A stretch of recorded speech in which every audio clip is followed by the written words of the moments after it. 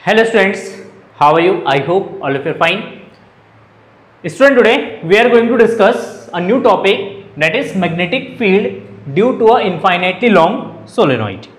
चलो एप्लीकेशन है ampere circuital law के सेकेंड एप्लीकेशन है देखिए फ़र्स्ट ऑफ़ ऑल यहाँ पे सोलोनॉइड के कारण हम मैग्नेटिक फ़ील्ड कैलकुलेट करेंगे तो सोलोनॉइड के कारण जो मैग्नेटिक फ़ील्ड कैलकुलेट करेंगे इट्स ओन एक्सिस पे निकालेंगे magnetic field first of all ठीक है तो इसके लिए सबसे पहले हम ये जान लेते हैं कि व्हाट इज़ सोलोनॉइड सोलोनॉइड क्या होता है?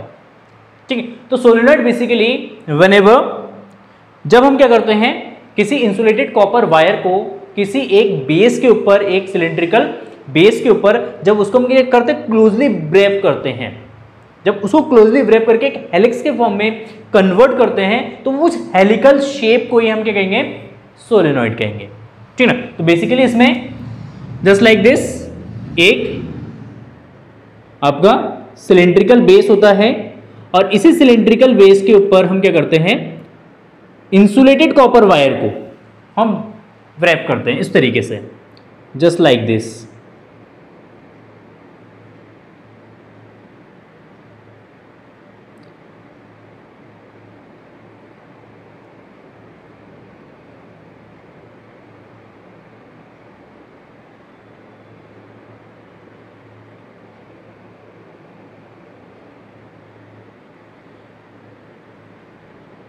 इस तरीके से जब एक बेस के ऊपर ये हमारा क्या एक बेस है, ये बेस जो है इंसुलेटेड बेस है मतलब एक, जैसे हमने एक पाइप ले लिया प्लास्टिक की पाइप या जैसे आपका ये मार्कर हो गया, इस मार्कर के ऊपर क्या करते हैं, अगर हम किसी इंसुलेटेड कॉपर वायर को ब्रेप करेंगे, एक हेलिक्स के फॉर्म में बना देंगे तो इस अरेंजमेंट को, या इस डिवाइस को हम क्या कहते हैं solenoid this is known as solenoid ठीक है? So now first of all इस सोलोनॉइड का अपना एक एक्सिस है ओन एक्सिस है। जस्ट लाइक दिस ये इसका एक्सिस है। इसी एक्सिस पे हमें किसी भी पॉइंट पर मैग्नेटिक फ़ील्ड कैलकुलेट करना है। ठीक है? वो भी एम्पियर सर्किटल्स लॉ का यूज़ करके।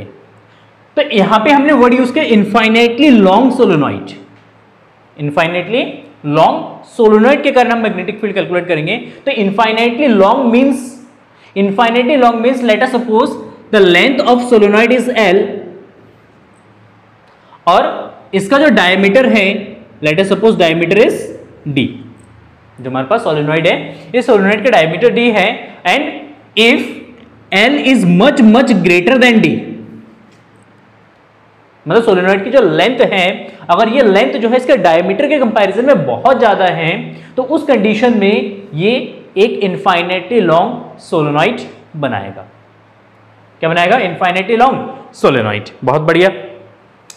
ठीक है, अब जब इस सोलेनॉइड के वायर में जब हम करंट फ्लो करते हैं तो इस करंट की वजह से इसके सराउंडिंग में और इसके अंदर जो है एक मैग्नेटिक फ़ील्ड बनता है। किस तरीके का मैग्नेटिक फ़ील्ड बनेगा? सुनाओ। जस्ट लाइक दिस कि जब हमने इस वायर को बनाया है तो इसमें एक सर्कुलर टर्न होगा। इस तरीके से? मतलब जब मैनी सर्कल्स को हम क्या करेंगे? आपस में ब्रेप करेंगे तो वो क्या बनाएगा? सोलोनाइट बनाएगा। तो एक छोटा सा हमारा सर्कुलर टर्न है। इस सर्कुलर टर्न में जस्ट लाइक दिस इस तरीके से अगर करंट फ्लो रहा है, इस तरीके से करंट फ्लो रहा है तो इस सिचुएशन में यहाँ पे जो मैग्नेटिक फ़ील्ड बनेगा, इसके एक्सिस पे या इसके सेंटर पे तो मैग्नेटिक फ़ील्ड किस डायरेक्शन में बनेगा? तो उसके लिए हम राइट हैंड थंब रूल का यूज़ कर सकते हैं। या right hand? Ampere ampere thumb rule का यूज़ कर सकते हैं या राइट हैंड थम रूल का यूज़ करते हैं सिंपल रूल्स तो इसके अकॉर्डिंग अगर हम कॉइल्स को इस तरीके से ब्रेप करते हैं, देखिए कॉइल में जो करंट है वो इस तरीके से फ्लो रहा है. जस्ट लाइक दिस कोई भी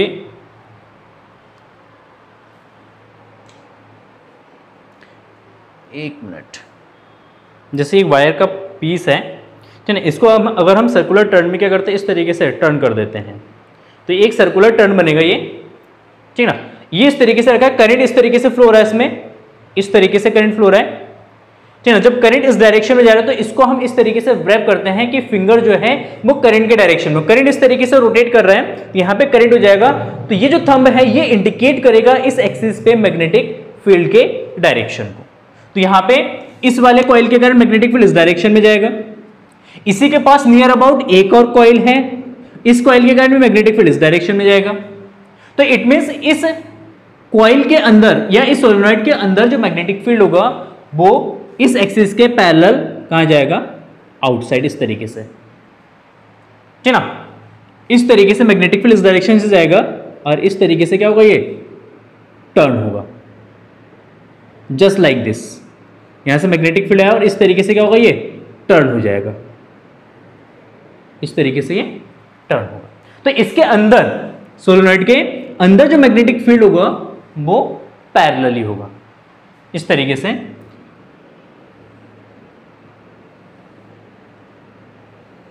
सोलोनॉइड के अंदर जो है, वो मैग्नेटिक फ़ील्ड जो है, उसके एक्सिस के क्या होगा? पैरेलल होगा इस तरीके से। और यहाँ से फिर ये टर्न हो जाएगा इस डायरेक्शन में, ये टर्न होगा इस डायरेक्शन में, इस तरीके से ये टर्न हो जाएगा, ये टर्न हो जाएगा, और ये जाके आगे से टर्न होगा। कुछ इस तरीके से मैग्नेटिक फ़ील्ड इसके अंदर क्रिएट होगा just like this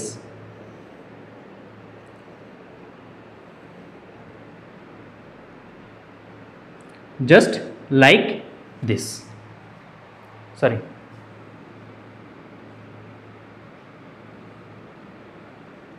इस तरीके से मैग्नेटिक फ़ील्ड बनेगा। ठीक है? तो अगर इस सोलोनॉइड को क्या करते हैं हम? इसके क्रॉस सेक्शन से इसको कट करते हैं। जस्ट लाइक दिस यहाँ पे देखिए टर्न जो है इस तरीके से करंट इसमें फ्लो रहा है। इन दिस वे अगर इसको बीच में से हम क्या करेंगे?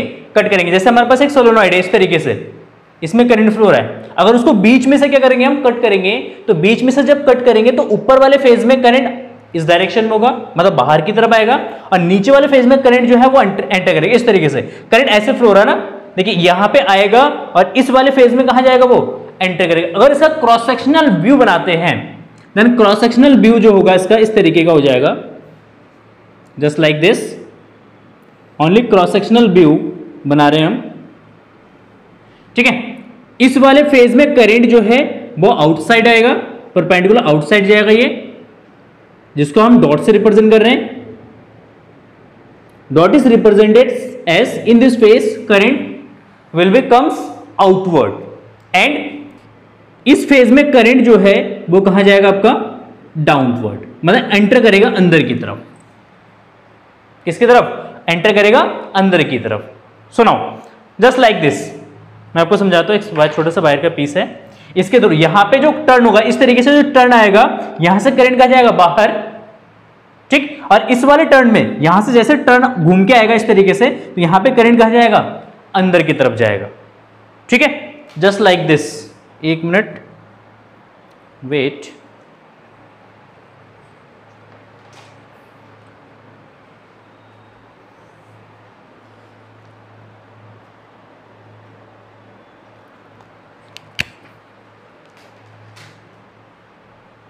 जैसे ये हो गया हमारे पास बायर। ये हो गया, देखिए, ये जब सर्कुलर फॉर्म में था ना, इस तरीके से, ये अलग अलग एक छोटे छोटे टर्न्स थे। जब नंबर ऑफ़ टर्न्स को हमने ऐड करा तो हमारे क्या बना? एक सोलोनाइड बना। तो एक छोटा सा जो टर्न है, जब इस टर्न को बीच में से कट करेंगे, इसको इस तरीके से अगर कट करेंगे तो कुछ इस तरीके का शेप बनेगा इसका। इस तरीके का शेप बनेगा। जब बीच में से इसको कट कर देंगे तो इस वाले फ़ेज़ में, ऊपर जो है करंट जो है वो कहाँ आएगा? बाहर। और इस वाले फ़ेज़ में, जैसे इस तरीके से करंट फ्लो हो रहा है ना तो हाफ़ फ़ेज़ की हम बात करते हैं। यहाँ से अगर देखेंगे क्रॉस सेक्शनल व्यू दिखेगा आपको तो यहाँ से करंट कहाँ जाएगा? आउटवर्ड बाहर आएगा और इस वाले फ़ेज़ में करंट कहाँ जाएगा? अंदर। इस तरीके से आएगा आपका। ठीक है? जब यहाँ से करंट बाहर आएगा तो इसके अक्रॉस ये जो एक छोटा सा वायर पीस है, इसके अक्रॉस यहाँ पे लेटर सपोज़ किए लगभग लगभग यहाँ पे क्या होगा? स्ट्रेच होगा। तो इसके अराउंड करंट इस डायरेक्शन में मैग्नेटिक फ़ील्ड कहाँ होगा इस पे? इस डायरेक्शन में रोटेट करेगा। तो इस वाले फ़ेज़ में यहाँ पे जो मैग्नेटिक फ़ील्ड होगा, वो कुछ इस तरीके से सर्कुलर फॉर्म में होगा। इस वाले फ़ेज़ में भी मैग्नेटिक फ़ील्ड कुछ इस तरीके से सर्कुलर फॉर्म में होगा। इसमें भी इस तरीके से मैग्नेटिक फ़ील्ड क्या होगा? टर्न करेगा। यहाँ पे भी मैग्नेटिक फ़ील्ड इस तरीके से आपका टर्न करेगा। इस वाले फ़ेज़ में भी वायर में भी मैग्नेटिक फ़ील्ड इस तरीके से टर्न करेगा। जस्ट लाइक दिस ना, अब इस वाले टर्न में, यहाँ पे, जैसे इस तरीके से है आपका वायर यहाँ पे करंट कहाँ जा रहा है? एंटर कर रहे हैं। जब यहाँ से एंटर करेगा तो इसके अराउंड एक जो वायर है, एक छोटा छोटा जो वायर पीसेस है इस तरीके के, इस वायर पीसेस के अराउंड जो मैग्नेटिक फ़ील्ड बनेगा, वो कैसा बनेगा? जस्ट लाइक दिस यहाँ पे मैग्नेटिक फ़ील्ड एंटर कर रहा है तो यहाँ पे सॉरी करंट एंटर कर रहा है यहाँ पे तो यहाँ पे मैग्नेटिक फ़ील्ड इस तरीके से टर्न करेगा according to right hand thumb rule सुनो यहाँ पे जो मैग्नेटिक फ़ील्ड बनेगा, वो आपका इसके अपोजिट बनेगा, इस डायरेक्शन में। यहाँ पे मैग्नेटिक फ़ील्ड इस डायरेक्शन में बनेगा। यहाँ पे मैग्नेटिक फ़ील्ड इस डायरेक्शन में बनेगा। ठीक है?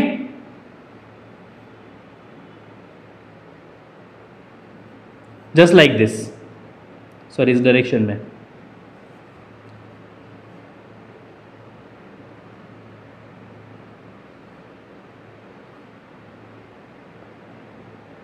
जस्ट लाइक दिस ठीक हो गया? अच्छा। अब इसके अराउंड कैसा बनेगा मैग्नेटिक फ़ील्ड अब देखिए यहाँ पे इस तरीके का कॉइल है। इस तरीके से रखा है एक एक कॉइल ये। इस तरीके से कॉइल है। तो अब इस वाले फ़ेज़ में यहाँ पे फ़ेज़ में करंट के कारण जो मैग्नेटिक फ़ील्ड होगा वो किस तरीके से कैलकुलेट करेंगे? तो जस्ट लाइक like, अगर करंट यहाँ पे इस डायरेक्शन में जा रहा है करंट ऊपर जा रहा है तो यहाँ पे करंट करंट अगर रोटेट करेंगे तो यहाँ पे इस डायरेक्शन में करंट इस तरीके से रोटेट होगा। देखिए, ये करंट जा रहा है ऊपर तो यहाँ पे मैग्नेटिक फ़ील्ड इस डायरेक्शन में रोटेट करेगा। हर एक वायर के लिए मैग्नेटिक फ़ील्ड इस डायरेक्शन में होगा। तो यहाँ पे जो मैग्नेटिक फ़ील्ड बनेगा, इसके अंदर वो मैग्नेटिक फ़ील्ड कुछ इस तरीके से बनेगा। ये मैग्नेटिक फ़ील्ड पैटर्न्स बता रहा हूँ मैं आपको सोलोनॉइड के कारण। तो इसके अंदर जो मैग्नेटिक फ़ील्ड होगा, वो जस्ट लाइक दिस होगा। दिस इज़ क्लियर सुनो अब यहाँ से मैग्नेटिक फ़ील्ड इस तरीके से रोटेट करके आएगा। यहाँ पे मैग्नेटिक फ़ील्ड इस तरीके से यहाँ पे रोटेट करके आएगा। तो एक बार मैग्नेट के कारण जो मैग्नेटिक फ़ील्ड बनता है सेम मैग्नेटिक फ़ील्ड पैटर्न जो है एक सोलेनॉइड के कारण भी आपका बनेगा। इस तरीके से। जस्ट लाइक दिस ठीक हो गया? सुनो तो अगर एक कोई भी इन्फाइनेटली लॉन्ग सोलोनाइड होता है तो इन्फाइनेटली लॉन्ग सोलोनाइड के आउटसाइड जो मैग्नेटिक फ़ील्ड हम कैलकुलेट करते हैं एज अज्यूम करते हैं कि इस सोलोनाइड के आउटसाइड मतलब यहाँ पे जस्ट लाइक दिस यहाँ पे एक पॉइंट क्यू है और यहाँ पे एक पॉइंट पी है। दो पॉइंट है।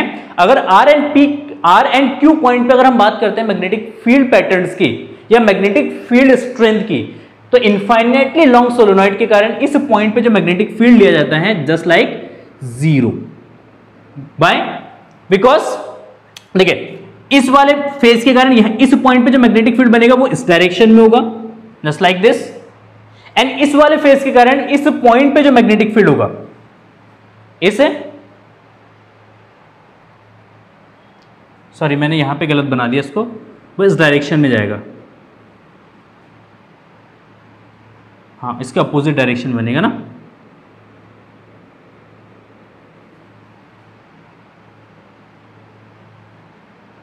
करंट इस तरीके से हाँ इस डायरेक्शन में आएगा। हाँ। सॉरी फॉर दैट मतलब इसमें डायरेक्शन को आपको चेंज कर देना है। ठीक है?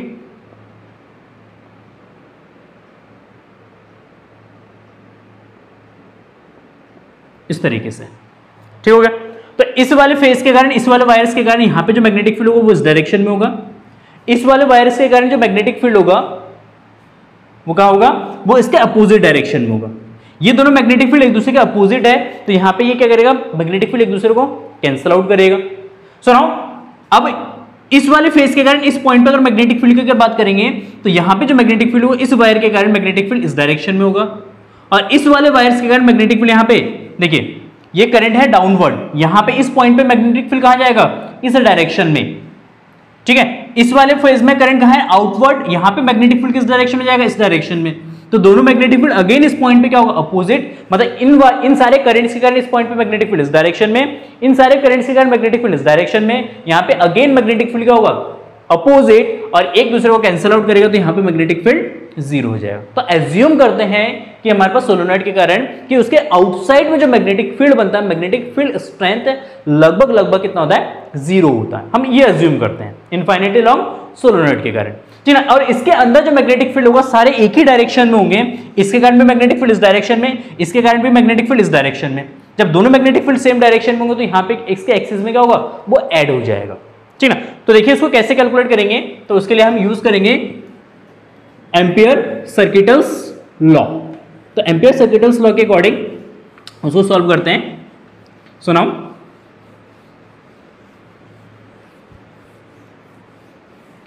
so now let's see let us suppose we have a cross sectional view हमारे पास एक क्रॉस सेक्शनल व्यू है सोलोनॉइड का।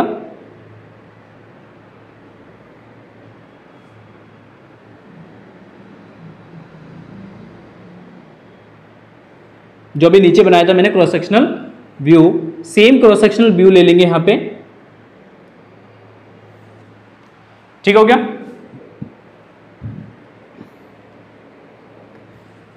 इस वाले फ़ेज़ में लेट सपोज़ करंट आउटवर्ड है।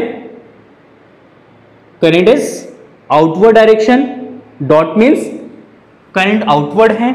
इस वाले फ़ेज़ में यहाँ पे करंट जो है वो क्या है इनवर्ड है प्लेन के इनवर्ड है। क्लियर सुनो let suppose this is axis of solenoid dotted line से बना देता हूँ मैं इसको। ये हमारा कोई एक्सिस है सोलेनॉइड का। और इसी एक्सिस पे हमें निकालना है मैग्नेटिक फ़ील्ड निकालना है। तो लेट अस सपोज़ इसके एक्सिस में यहाँ पे कोई पॉइंट पी है और इस पॉइंट पी पे हमें मैग्नेटिक फ़ील्ड कैलकुलेट करना है। तो इस पॉइंट पी पे मैग्नेटिक फ़ील्ड कैलकुलेट करने के लिए हमें अज्यूम करना पड़ेगा इसके अराउंड एक क्लोज लूप जिसको हम एम्पीरियन लूप कहते हैं।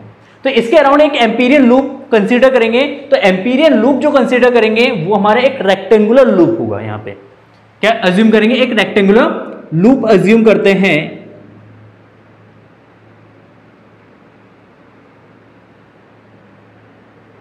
जस्ट लाइक दिस एक एम्पेरियन लूप बना लेते हैं यहाँ पे रेक्टेंगुलर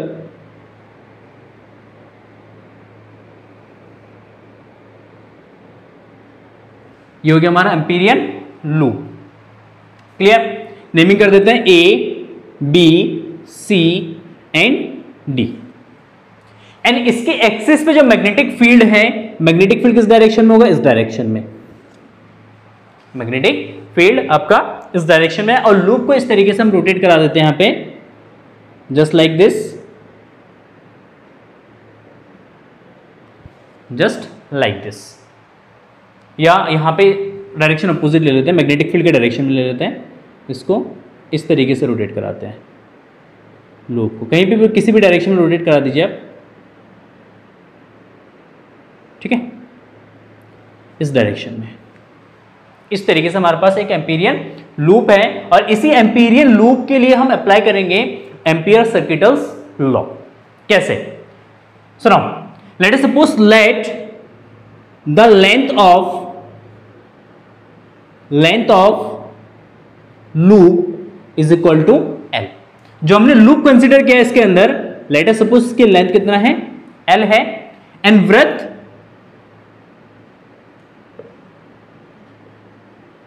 इज़ कुछ भी ले लो, x ले लो। लेट सपोज़ इसका जो व्रत है वो कितना है?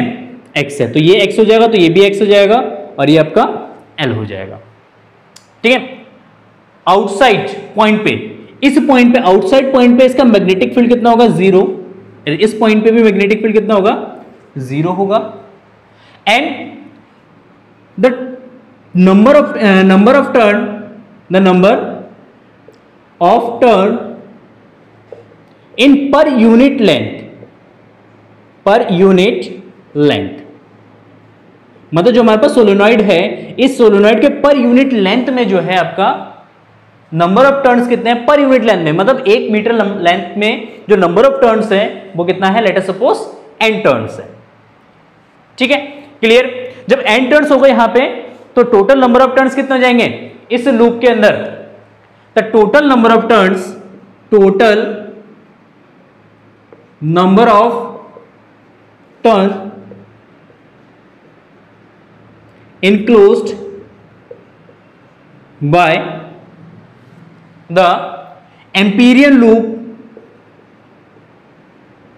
Amperian loop that is capital N is equal to small N into L मतलब इसकी लेंथ एल है तो इसके अंदर जो नंबर ऑफ़ टर्न्स होंगे इसी लूप के अंदर जो नंबर ऑफ़ टर्न्स होंगे, उस नंबर ऑफ़ टर्न्स को हम कंसीडर करेंगे यूनिट लेंथ में, कितना टर्न्स है, उसके मल्टीप्लाई करेंगे टोटल लेंथ से। तो that is capital N number of turns है is equal to small N into L clear हो गया?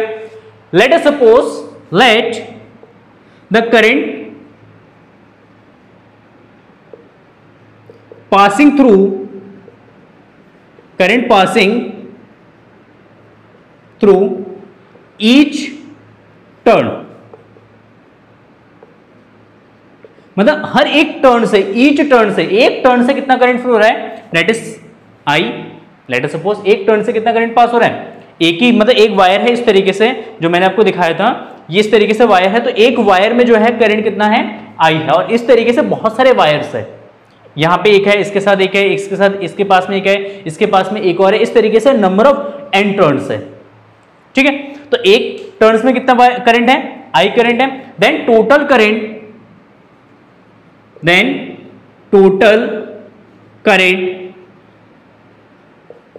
passing through passing through the Amperian loop passing through the Amperian loop देखिए, एक चीज़ समझना है यहाँ पे। ये इंपॉर्टेंट है। इस लूप से कितना करंट आ रहा है? आई करंट इस टर्न से कितना करंट आ रहा है? आई करंट इस टर्न से कितना करंट आ रहा है? आई करंट इस टर्न से कितना करंट आ रहा है? आई यहाँ से भी आई और यहाँ से जितना भी करंट पास हो रहा है, वो आउटवर्ड है। सेम डायरेक्शन में है। तो इसलिए क्या हो जाएगा? टोटल करंट को हम क्या करेंगे? ऐड कर देंगे। टोटल करंट को क्या कर देंगे? ऐड कर देंगे। तो I plus I plus I plus I plus I तो इस तरीके से I plus I plus I plus I plus I plus I और इस तरीके से टोटल कितने टर्म्स तक हैं? एन टर्म्स तक। तो टोटल करंट को अगर ऐड करेंगे हम यहाँ पे तो टोटल कितना करंट मिलेगा हमें? एन आई तो टोटल आई नेट जो हो जाएगा आपका, वो आ जाएगा I into N N is the total number of turns which is is enclosed the Amperian Amperian clear Clear? So i net is I into N N is equal to N L it is N L ये तो क्या हमने current calculate कर दिया। अब Ampere's law को हम apply करते हैं यहाँ पे। According to Ampere's law according to Ampere's law the line integral of the line integral of the line integral around this closed loop. Around this closed loop is equal to integration of b dot dl. Integration of B dot DL अगर इस rectangular loop के around अगर हम magnetic field का क्या करते हैं? Line integral करते हैं तो ये जो लाइन इंटीग्रल होगा, ये फोर पार्ट्स में डिवाइड हो जाएगा।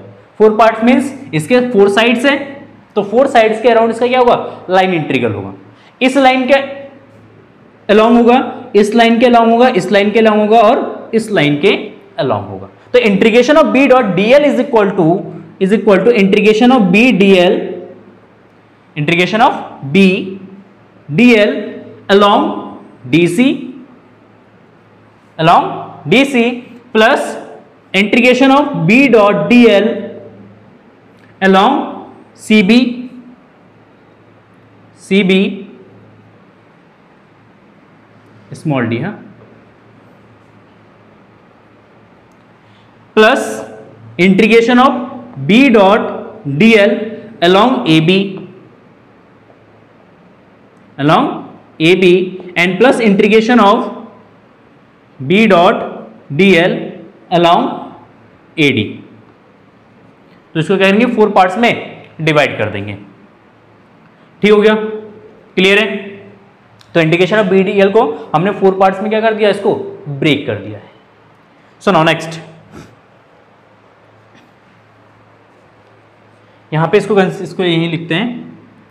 So now integration of B D L integration of B D L cos zero degree sorry यहाँ पे वेक्टर हटा देंगे। देखिए, यहाँ पे डॉट प्रोडक्ट है। बी एंड डी एल का क्या है? डॉट प्रोडक्ट है। जब डॉट प्रोडक्ट हटेगा तो यहाँ पे क्या जाएगा? कॉस थीटा जाएगा। अच्छा कॉस थीटा यहाँ पे थीटा जो एंगल है वो बी और डी एल के बीच में। यहाँ पे एक छोटा सा करंट एलिमेंट ले लेंगे। तो करंट एलिमेंट इस डायरेक्शन में बीबीसी डायरेक्शन में तो इस एलिमेंट के लिए एंगल कितना होगा? ज़ीरो डिग्री होगा। ठीक?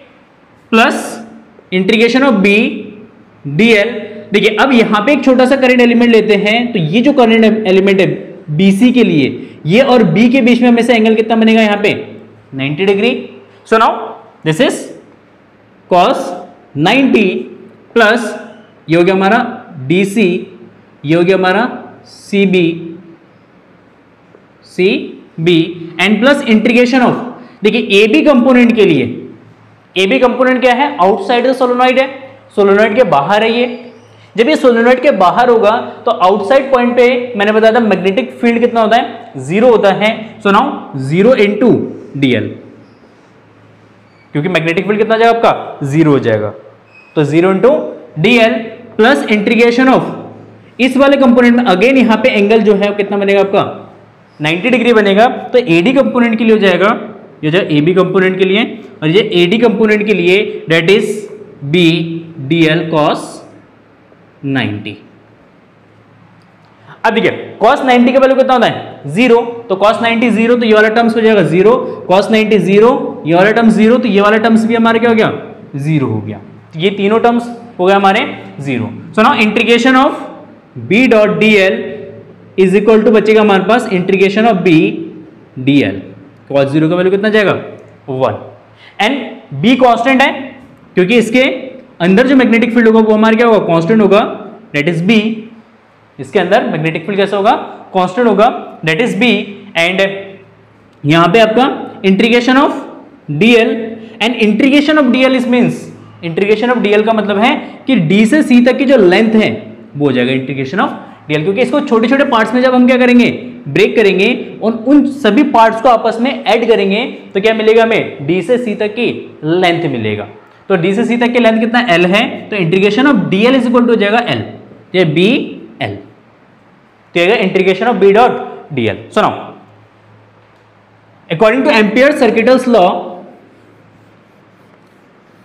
according to ampere circuitous law, integration of b dot dl integration of b dot dl is equal to mu naught i net.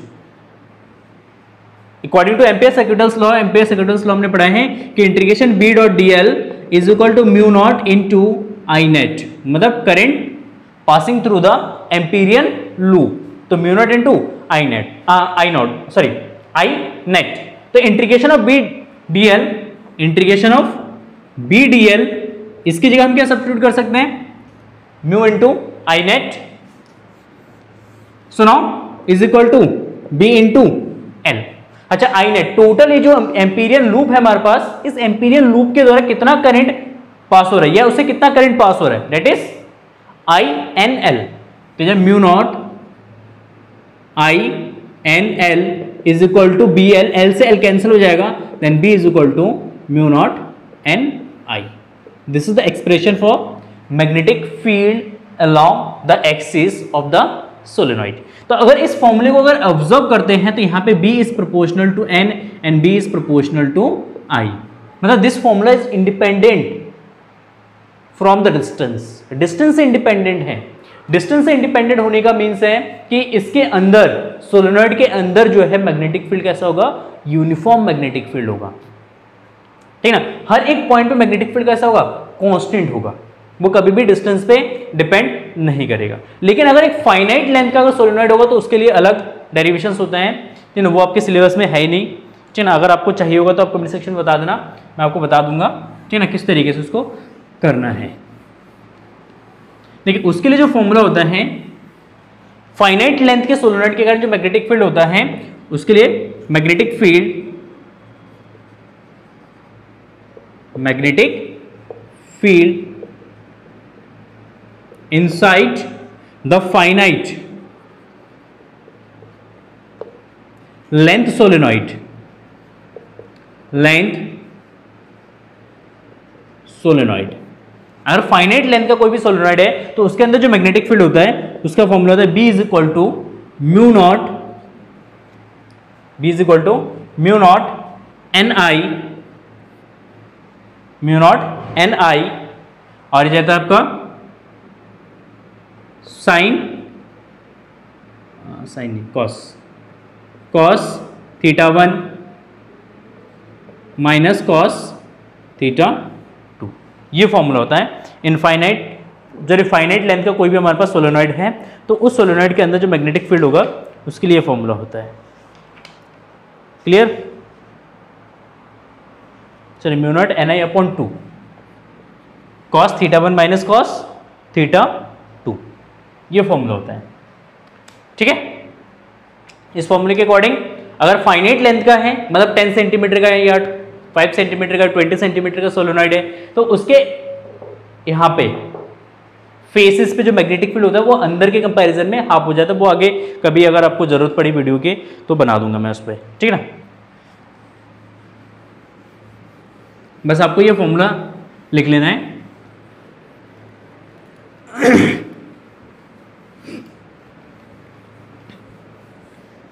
देखिए नेक्स्ट टॉपिक है magnetic field due to a toroid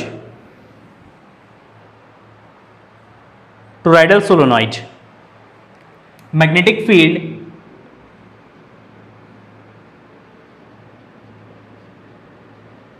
field due to a toroidal solenoid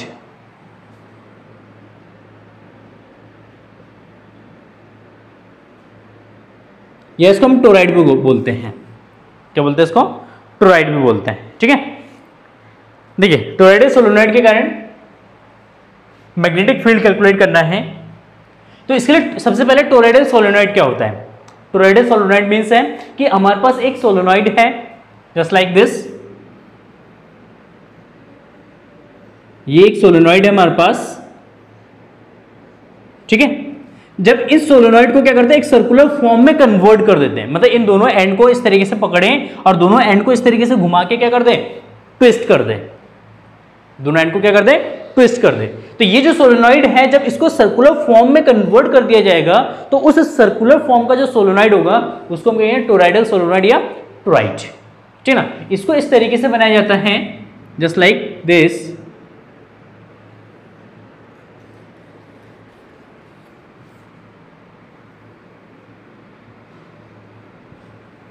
इस तरीके से।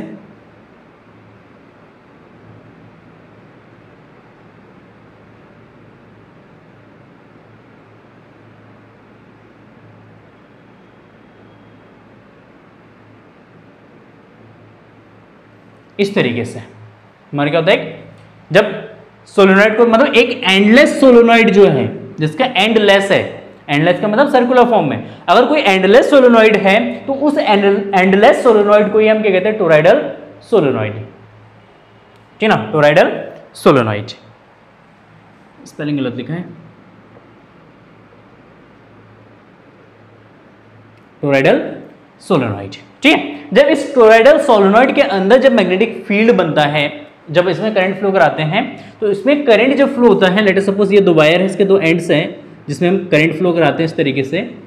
जब इसमें current flow होगा तो इसके अराउंड जो है एक मैग्नेटिक फ़ील्ड बनेगा। किस कैसे मैग्नेटिक फ़ील्ड बनेगा? जैसे देखिए, एक सोलोनॉइड के अंदर, इसके एक्सिस के अंदर जो मैग्नेटिक फ़ील्ड बनना था, वो कैसे बनना था? वो स्ट्रेट लाइन बनना था। एज्यूम करना इसको। ठीक ना? अब जब इसको हमने क्या करा, इन दोनों एंड को पकड़ के इस तरीके से रोटेट कर दिया। मतलब उसको घुमा दिया और एक सर्कल के फॉर्म में कन्वर्ट कर दिया। तो जब इस सोलोनॉइड को कन्वर्ट करेंगे एक सर्कल के फॉर्म में तो इसके अंदर जो मैग्नेटिक फ़ील्ड जो स्ट्रेट जा रहा था, वो स्ट्रेट मैग्नेटिक फ़ील्ड क्या होगा? बेंट होगा। और बेंट होगा तो वो भी किसके फॉर्म में आ जाएगा? एक सर्कुलर फॉर्म के फॉर्म में आ जाएगा। मतलब ये जो मैग्नेटिक फ़ील्ड है, अब ये स्ट्रेट ना जाके वो क्या होगा? इस तरीके से सर्कुलर फॉर्म में कन्वर्ट हो जाएगा। तो जो इस टोराइडल है या टोराइड है, इस टोराइड के अंदर जो मैग्नेटिक फ़ील्ड बनेगा, वो इस तरीके से कॉन्सेंट्रिक सर्कल के फॉर्म में बनेगा। इस तरीके से कॉन्सेंट्रिक सर्कल्स के फॉर्म में बनेगा। ठीक है? तो अगेन इसके कारण जो मैग्नेटिक फ़ील्ड निकालेंगे, तीन पॉइंट पे मैग्नेटिक फ़ील्ड निकालेंगे। एक एक्सटीरियर पॉइंट पे, एक इसके अंदर inside inside the toroidal solenoid and एक पॉइंट निकालेंगे हम इस पॉइंट पे इंटीरियर पॉइंट पे। तीन पॉइंट पे मैग्नेटिक फ़ील्ड निकालेंगे। देखते हैं क्या होगा मैग्नेटिक फ़ील्ड तो इसके लिए आपको अज्यूम करना होगा कि अगेन जिस तरीके से हमने एक सोलोनॉइड को बीच में से कट किया था सेम इस टोराइड को भी हम क्या करेंगे, बीच में से कट करेंगे। जब इसको बीच में से कट करेंगे, ठीक है ना? तो जस्ट लाइक like इस तरीके का आपका शेप बनेगा यहाँ पे क्रॉस सेक्शनल व्यू अगर बनाएँगे तो क्रॉस सेक्शनल व्यू बनेगा आपका। और उसी क्रॉस सेक्शनल व्यू पे ही हमें अप्लाई करना है एम्पियर सर्किटल्स लॉ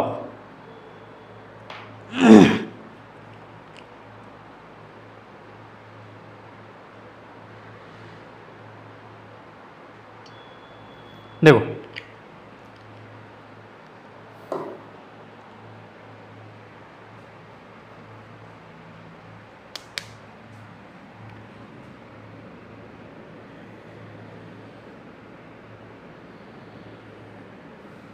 सर्कल ही नहीं बना।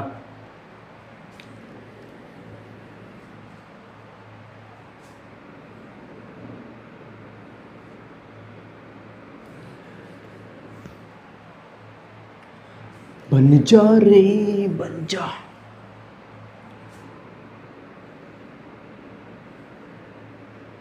ठीक है जस्ट लाइक दिस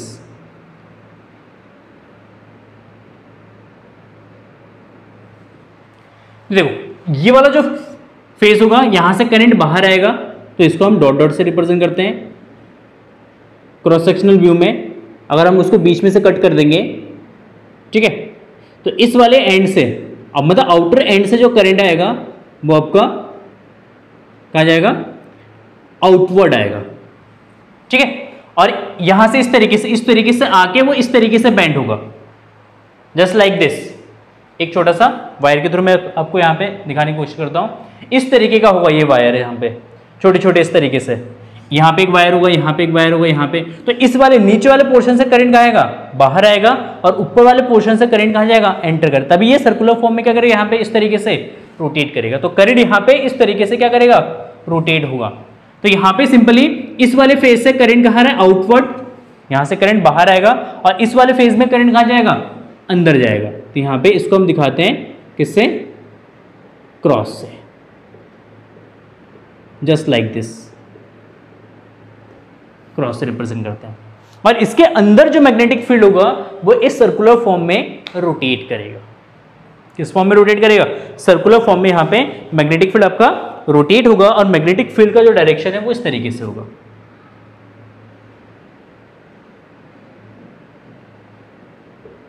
इस तरीके से यहाँ पे मैग्नेटिक फ़ील्ड जो है, वो आपका रोटेट करेगा। क्लियर सुनाओ लेट अस सपोज़ कि इसका मीन जो रेडियस है ये इसका सेंटर हो गया। यहाँ से इसका जो रेडियस है, वो लेटर सपोज़ कितना है? आर है। कितना रेडियस का है? आर रेडियस का है। ठीक? तो एक तो इसके इस पॉइंट पे निकालेंगे, एक आउटसाइड पॉइंट पे निकालेंगे, यहाँ पे निकालेंगे। एक पॉइंट क्यू पे निकालेंगे मैग्नेटिक फ़ील्ड लेटर सपोज़ यहाँ पे एक पॉइंट है पी तो इस पॉइंट पे भी निकालेंगे मैग्नेटिक फ़ील्ड एंड इसके अंदर एक पॉइंट ले लेंगे आर तो इस पॉइंट पे भी हम मैग्नेटिक फ़ील्ड कैलकुलेट करेंगे। तो एक एक करके कैलकुलेट करते हैं। तो फ़र्स्ट जो मैग्नेटिक फ़ील्ड हम कैलकुलेट करेंगे first magnetic field is for the point in open space interior of the toroid interior of the toroid तो first point is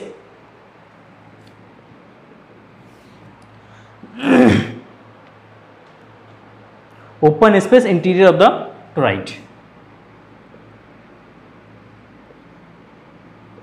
open space interior of the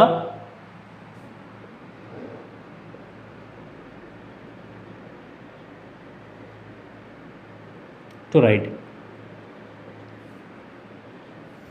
ठीक है? Open space किस space में? Open space मतलब इसके अंदर जो space है, इस स्पेस में निकालेंगे। ठीक है?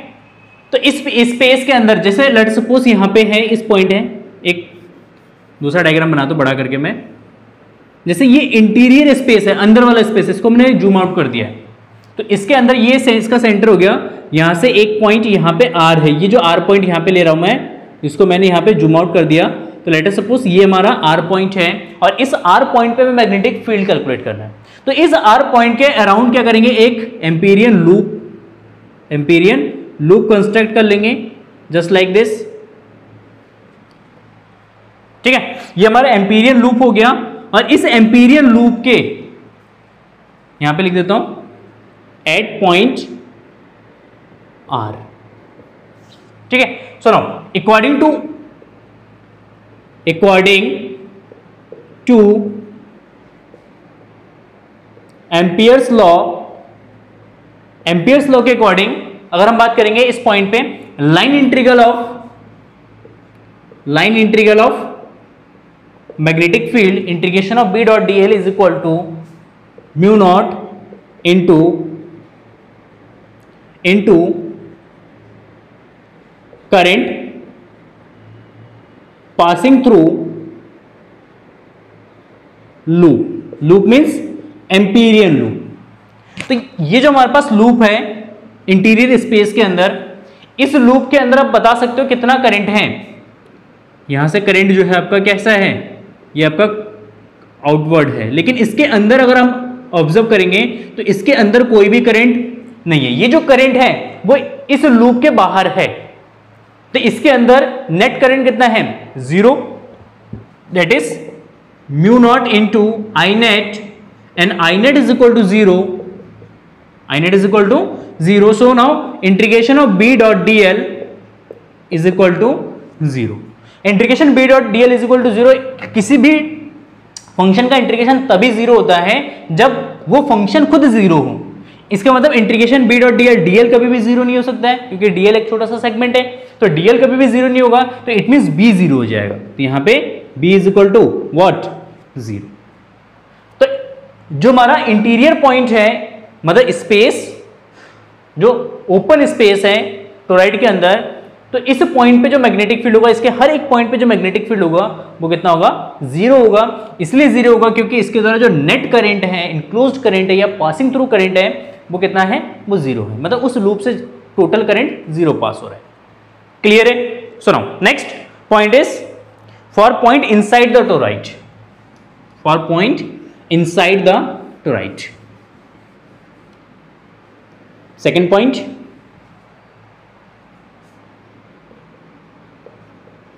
for point inside the toroid ठीक है? देखिए टोराइट के अंदर, अब ये जो पॉइंट है P, जो हमने पॉइंट P कंसीडर किया है, इस पॉइंट P पर हमें मैग्नेटिक फ़ील्ड निकालना है। इसको डॉटेड लाइन से दिखा देता हूँ मैं तो आपको क्लियर हो जाएगा। इस तरीके से मैं इसको डॉटेड लाइन से ड्रॉ करता हूँ। तो पॉइंट पी पे, यहाँ पे लिखा दो एट पॉइंट पी तो इस पॉइंट पी पे मैग्नेटिक फ़ील्ड कैलकुलेट करना है। तो इस पॉइंट पी पे मैग्नेटिक फ़ील्ड कैलकुलेट करने के लिए सबसे पहले आपको अज्यूम करना होगा। सबसे पहले आपको कैलकुलेट करना होगा कि इस सर्कुलर लूप के अंदर कितना करंट है। ठीक है? तो इसके लिए let us assume let N is equal to number of turns per unit length. मतलब नंबर ऑफ़ टर्न्स है पर यूनिट लेंथ है। I is equal to current current passing through each loop या ईच वायर कितना each wire से जो current pass हो रहा है, वो कितना करंट है? आई करंट है। Let's assume and radius of radius of amperian loop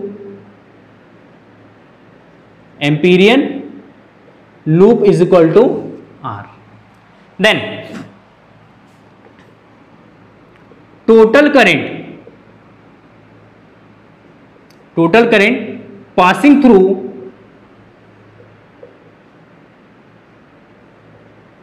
passing through the amperian loop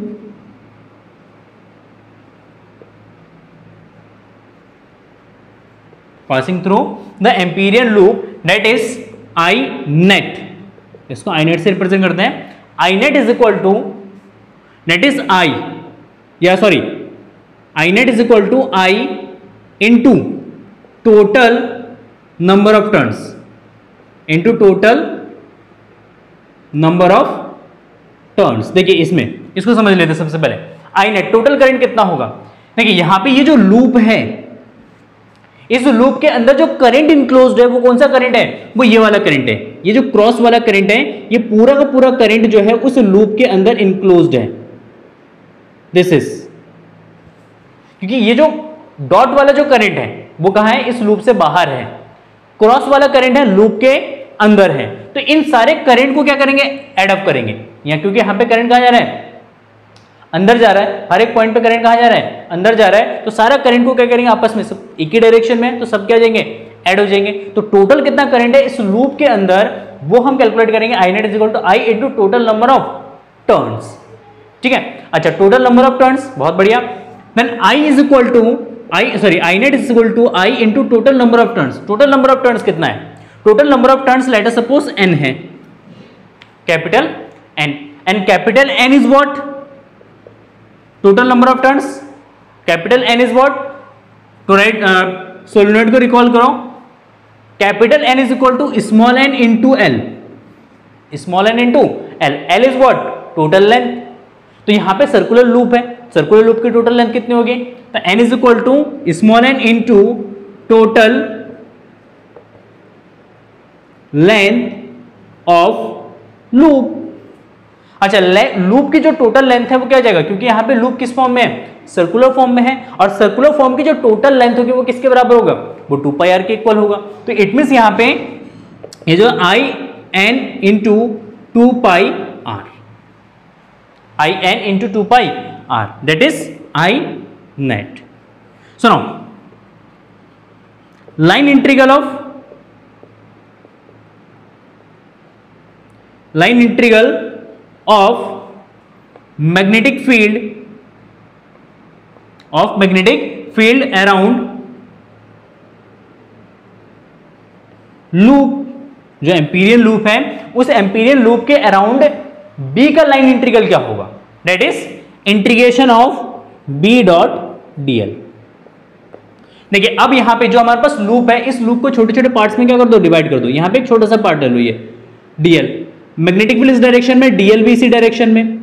दोनों का डायरेक्शन क्या है? सेम है। तो यहाँ पे एंगल कितना बनेगा? बी एंड डीएल के बीच में। देखो angle between B and dl that is equal to zero degree समझना यहाँ पे जो लूप है, उसी लूप में एक छोटा सा हमने डीएल ले लिया इस तरीके से। एक डीएल छोटा सा एलिमेंट हो गया और इसके अंदर जो मैग्नेटिक फ़ील्ड होगा, वो कॉन्सेंट्रिक सर्कल के फॉर्म में होगा। तो कोई ना कोई मैग्नेटिक फ़ील्ड इसी सर्कल पे कॉन्सिडेंट होगा। कोई ना कोई मैग्नेटिक फ़ील्ड ऐसा होगा जो इस सर्कल पे क्या होगा? कॉन्सिडेंट होगा और उस मैग्नेटिक फ़ील्ड का डायरेक्शन भी इसी डायरेक्शन में है। तो यहाँ पे बी डीएल किस डायरेक्शन में है मैग्नेटिक फ़ील्ड भी इसी डायरेक्शन में होगा तो दोनों के बीच में एंगल कितना होगा? ज़ीरो डिग्री तो बी एंड डीएल के बीच में एंगल हमारा हो जाएगा ज़ीरो डिग्री सुनो integration B dot dl is equal to zero तो यह जो integration B dl cos zero cos 0 and cos 0 का value 1 and b constant, that is integration of dl and integration of dl is what? Integration dl means, जो हमारे पास empyrean loop है, इस empyrean loop की total length total length so now integration of b dot d l is equal to जाएगा b into two pi r integration of d l Amperian loop की total length और empyrean loop की जो total length है, वो जाएगा उसकी total circumference that is two pi R यहाँ से जाएगा B into two pi R clear बहुत बढ़िया। According to ampere according to according to Ampere law Ampere's law के according integration of b integration of b dot d l is equal to mu naught into I into I net.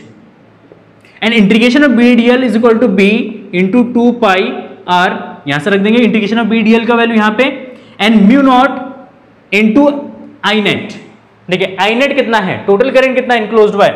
Amperian loop that is I N into two two pi R तो यह I N into two pi R और two pi are से two pi R cancel then B is equal to mu naught N I this is magnetic field this is magnetic field ये हमारा magnetic field का formula जाएगा। ठीक है? तो देखो सेम मैग्नेटिक फ़ील्ड है जो सोलोनॉइड के अंदर आया था, वही मैग्नेटिक फ़ील्ड इस टोराइड के अंदर भी आ रहे हैं। तो इसका मतलब क्या है कि मैग्नेटिक फ़ील्ड दोनों में क्या होगा? सेम और सेम चीज़ था, बस हमने क्या करा? जो सोलोनॉइड था, वो एक लेंथ के शेप में था, एक सिलेंड्रिकल फॉर्म में था हेलिक्स के फॉर्म में था, उसको हमने क्या कर दिया? एक सर्कुलर फॉर्म में उसको कन्वर्ट कर दिया। तो क्या बन गया? टोराइड और टोराइड के अंदर भी मैग्नेटिक फ़ील्ड उतना ही रहेगा जितना सोलोनॉइड के अंदर था। तो ये सेकेंड पॉइंट पे हो गया। For point inside the toroid at point P सुनाओ। नेक्स्ट कैलकुलेट करते हैं पॉइंट क्यू पे। पॉइंट क्यू पे। ठीक है? सिंपल है पॉइंट क्यू पे। इसको डायग्राम मिटाता हूँ और एक नया डायग्राम बनाता हूँ। खिंच पिच हो गया होगा इस पर है ना?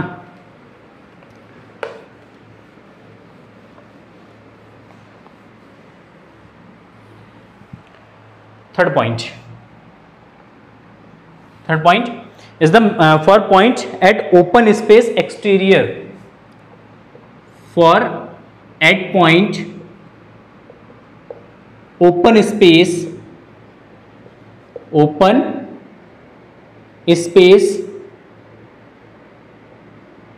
exterior to the to right देखिए एक्सटीरियर पॉइंट पे है। तो एक्सटीरियर पॉइंट के लिए लेट अस सपोज़ ये हमारे पास एक टोराइड है।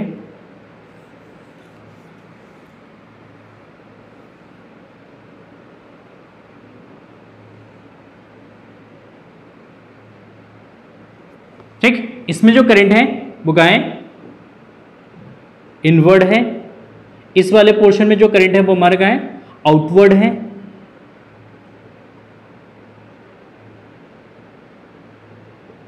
जस्ट लाइक दिस ठीक है?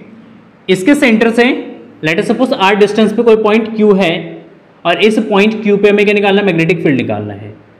तो इस पॉइंट क्यू पे मैग्नेटिक फ़ील्ड कैलकुलेट करने के लिए हमें क्या करना होगा? एक एम्पीरियन लूप कंसीडर करना होगा। तो इसके अराउंड क्या करते हैं? एक एम्पीरियन लूप को कंसीडर करते हैं। जस्ट लाइक दिस इस तरीके से हम क्या करते हैं? एक एम्पीरियन लूप को कंसीडर कर लेते हैं। ठीक हो गया? सुनो, अब अगर ये हमारे पास एम्पीरियन लूप है सर्कुलर एम्पीरियन एम्पीरियन लूप है तो इस लूप के अंदर टोटल कितना करंट है? इस लूप के अंदर टोटल कितना करंट है? तो देखना, इसके अंदर टोटल जो करंट होगा, कुछ करंट जो है, वो आउटवर्ड है। ये वाले जो करंट है, जो डॉटेड पॉइंट वाले करंट है, वो कहा है? आउटवर्ड है। और जो क्रॉस वाले करंट है, वो कहा है? इनवर्ड है। तो करंट कुछ बाहर आ रहा है और कुछ अंदर जा रहा है। दोनों करंट के हैं अपोजिट डायरेक्शन में। कुछ करंट बाहर आ रहा है, कितना करंट बाहर आ रहा है? एन करंट बाहर आ रहा है और कितना करंट अंदर जा रहा है? एन करंट अंदर जा रहा है। तो टोटल करंट कितना होगा? ज़ीरो क्योंकि जब दोनों अपोजिट डायरेक्शन में तो क्या जाएँगे? कैंसल आउट हो जाएँगे। तो इट मीन टोटल जो करंट होगा वो हमारा कितना जाएगा? ज़ीरो होगा।